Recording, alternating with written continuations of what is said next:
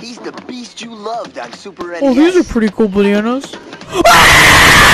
on Game Boy, in an all-new game with all new enemies and worlds. Donkey Kong Land.